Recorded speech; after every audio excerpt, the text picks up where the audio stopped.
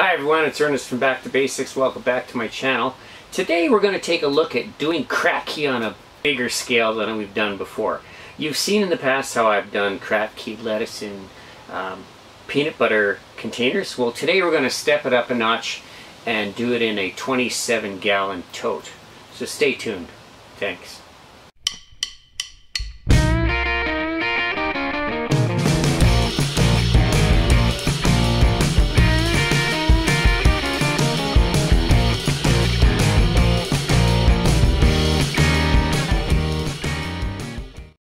Now the first step in my process that I'm using is I start off my peppers in an AeroGarden. As you can see, these peppers here are approximately three weeks old now, and they're getting to the point where I want them out of here, and I'm gonna put them into my peanut butter container as an interim step to the 27 gallon tote.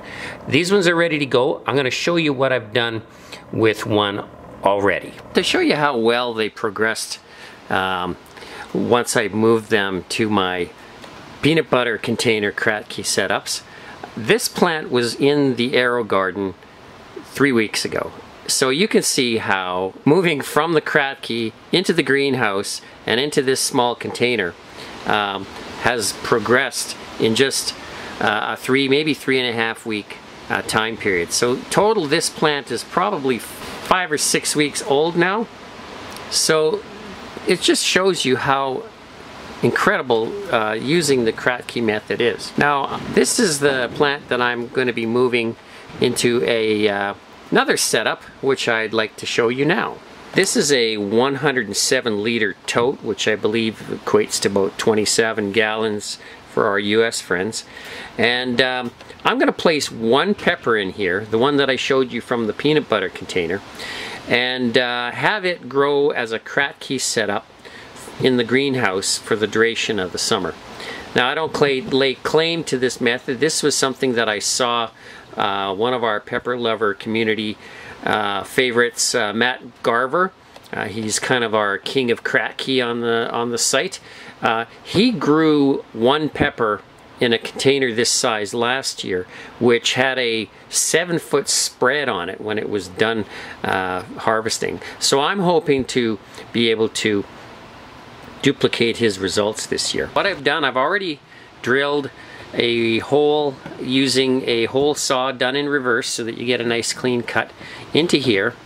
And I have filled this up with water already. Let me get this off.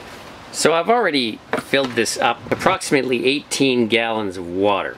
And the reason I'm not going to go any further than this is I do want to make sure that the plant that I'm putting in here remains having a, uh, an airspace for the roots, which it's been used to from the peanut butter container. And what I mean by that is, if you take a look at how much uh, root is on this, if you look at the bottom of my finger here, those uh, whiter roots are the air roots, so they need to remain uh, above the water level inside this large Kratky system uh, in order to be able to get uh, the oxygen that it needs. For this particular setup, they're going to be using the General Hydroponics Maxi Grow, which is a 10-5-14, and uh, it calls for uh, one to two teaspoons per gallon, so that works out to, let's say, doing the math, yeah, six tablespoons.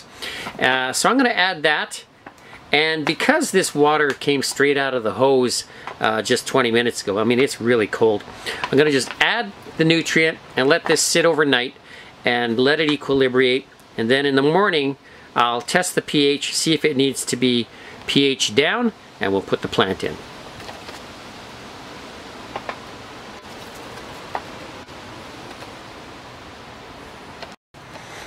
Okay, that's been six tablespoons. Now we'll just give this a really good mix.